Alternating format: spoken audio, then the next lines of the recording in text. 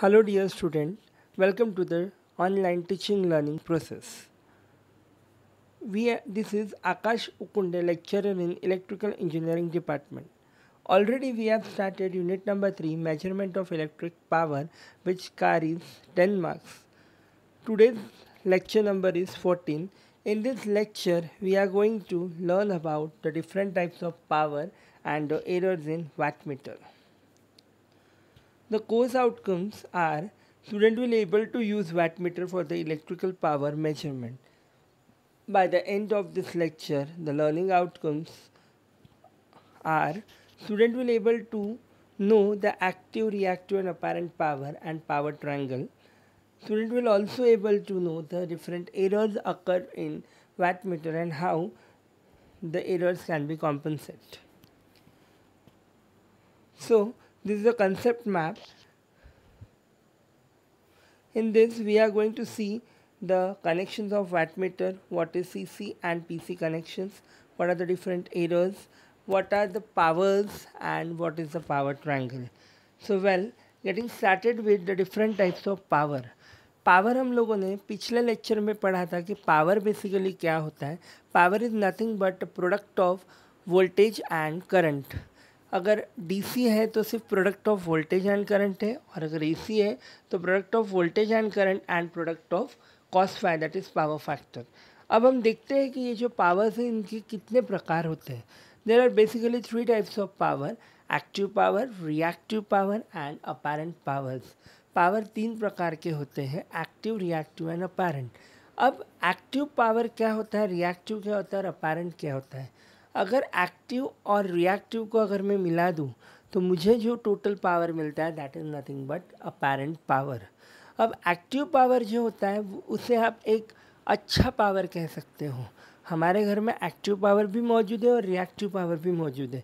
तो active power का मतलब एक ऐसा पावर जो एक अच्छा पावर है, जो यूज़फुल पावर है, उसे आप कह सकते हो active power which is denoted by capital P और इसे मेजर करते हैं किलो वाट्स में और इसका फॉर्मूला है एक्टिव पावर का V I cos phi similarly reactive power एक ऐसा पावर है जो कि यूज़फुल पावर नहीं है, जो ऐसा पावर जो which flows back and forth that is it moves in both the direction जो दोनों डायरेक्शंस में फ्लो करता है और सेटबैक होता है, ऐसे पावर को आप रिएक्टिव पावर कहोगे, जो कि बिल्कुल भी अच्छा पावर नहीं होता है। The reactive power is measured in the terms of K V A R जिसे आप क्यू से डिनोट करते हो, और इसका फॉर्मूला है V I sine phi now apparent power क्या होता है? Apparent power is nothing but the product of R M S value of voltage and current उसे आप अपेरेंट पावर कहोगे जिससे आप मेजर करोगे इन के वी ए और एम वी ए और उसको डिनोट करते हैं एस से, जिसका फॉर्मूला है वी इंटू आई अब हम ये जो पावर ट्रायंगल क्या होता है और ये पावर ट्रायंगल पर एक्टिव रिया पावर रिएक्टिव पावर और पैरेंट पावर किस तरीके से रिप्रेजेंट करते हैं वो हम देखेंगे। अब power triangle is nothing but ये एक रिप्रेजेंटेशन है तीनों पावर्स का एक्टिव रिएक्टिव एंड अपेरेंट अब यहाँ आपको एक राइट एंगल ट्रायंगल दिख रहा है। हम power triangle right angle triangle से दिखाते हैं, जिसमें वन साइड होती है, एक अनादर साइड होती है और तीसरे को आप हाइपोटेनियस कहते हैं। आपने पाइथागोरस थ्योरम देखा होगा। One side plus another side give you the third side that is nothing but hypotenuse similarly यहाँ पर भी ऐसा ही है। मैंने अभी कहा था कि अपेरेंट पावर का मतलब दो जो पावर्स है एक्टिव और रिएक्टिव इन दोनों को अगर आप ऐड करते हो तो आपको अपेरेंट मिलता है। तो अगर पाइथागोरस थ्योरम के हिसाब से मैं राइट एंगल ट्रायंगल देखूँ तो हाइपोटेनियस पे आएगा अपेरेंट वन साइड पे आएगा एक्टिव तो दूसरे साइड पे आएगा रिएक्टिव पावर यानी दो साइड्स जो है राइट एंगल ट्रायंगल के तो एक साइड पे एक्टिव पावर आएगा तो दूसरे पे रिएक्टिव आएगा, और इन दोनों का addition that means third side hypotenuse जिसे आप अपेरेंट पावर कह सकते हो it is nothing but power triangle now how to connect the wattmeter in a circuit एक सर्किट में एक वैट मीटर को अगर आपको कनेक्ट करना है तो आप किस प्रकार सर्किट में वैट मीटर को कनेक्ट करोगे, वो अब हम देखेंगे। इसके दो मेथड्स हैं। पहली हम मेथड अब यहाँ देखेंगे। यहाँ आपको एक वैट मीटर दिख रहा है, जो लोड के साथ कनेक्टेड है करंट कॉयल और pressure coil the pressure coil comes before the current coil moving from supply side हम यहाँ सबसे पहले प्रेशर कॉयल लगाएँगे, जो कि करंट कॉयल के पहले होती है सप्लाई साइड पर। In this method of connection the pressure coil reads the voltage drop in load as well as small drop in current coil ये जो मेथड है, ये मेथड में यहाँ जो प्रेशर कॉयल है, ये थोड़ा सा भी अगर वोल्टेज ड्रॉप होता है तो उसे रीड करता है। So the power measured will include the power lost in current coil resistance और इसीलिए हमें जो यहाँ जो पावर मिलता है, वहाँ हमें जो पावर लॉस हुआ है, वो भी कंसिडर होकर मिलता है। बट ये एक एरर है, ऐसा नहीं होना चाहिए। So this method of connection is suitable for circuit having load current in which case the voltage drop in the current coil will negligibly small इसीलिए ये जो मेथड ऑफ़ कनेक्शन है, ये स्मॉल लोड करंट के लिए ही use होता है। अब हम सेकेंड मेथड देखेंगे। सेकेंड मेथड में भी प्रेशर कॉयल है, जो कि लोड के अक्रॉस कनेक्ट की गई है after the current coil this method is suitable for circuits having large load current ये मेथड जहाँ जहाँ यूज़ होता है, जहाँ लोड करंट काफ़ी ज़्यादा होता है। Compare to a load large load current the current drawn by the pressure coil is negligible due to compensating coil is use in series with the pressure coil well now we are going through the next topic that is error in the wattmeter wattmeters में कौन से प्रकार के errors होते हैं? तो सबसे पहला एरर हम देख रहे हैं error due to connection methods अब यहाँ हमें दो फिगर्स दिख रही है। दो फिगर्स में जो कनेक्शन दिया गया है, उसके अकॉर्डिंगली जैसे अगर रेगुलर लोड है, जिसमें करंट वैल्यू अगर कम है तो आप फिगर नंबर वन में जो आपको कनेक्शन दिया, वो प्रिफर करोगे।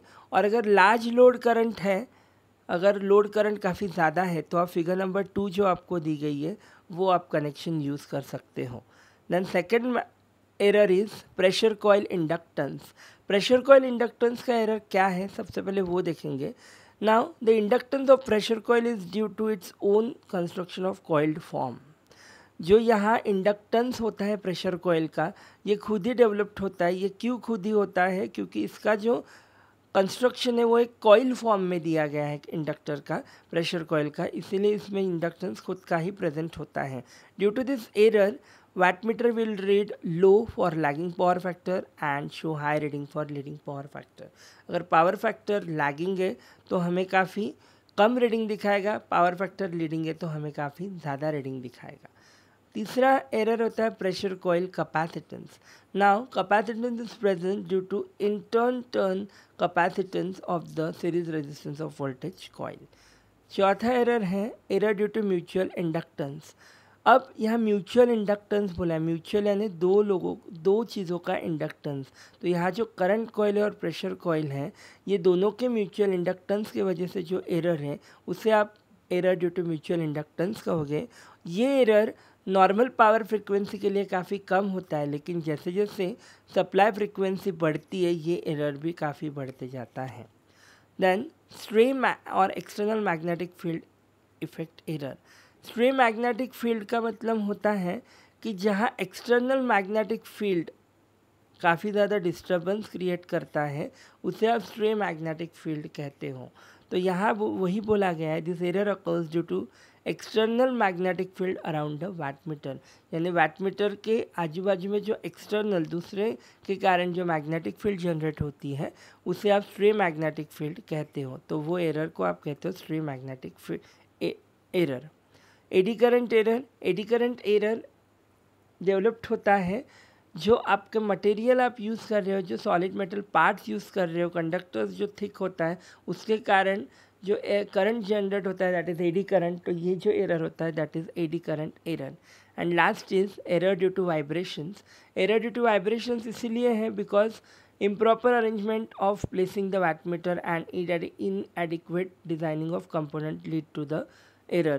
यानी अगर अपने इंस्ट्रूमेंट का प्रॉपर यूज़ नहीं करते हो या उसका डिज़ाइनिंग प्रॉपर नहीं है तो उसके कारण वाइब्रेशन जनरेट होते हैं। That error is nothing but error due to vibration so we will going to summarize this lecture today we have studied various types of power that is active reactive and apparent what is the power triangle how the wattmeter is going to be connected in circuit and different error with its compensation so by this lecture we have mapped PO1, 2, 3, 4 and PO10. In the next lecture we are going to learn about power measurement by using 1, 2 and 3 wattmeter method. Up till now keep learning. Thank you.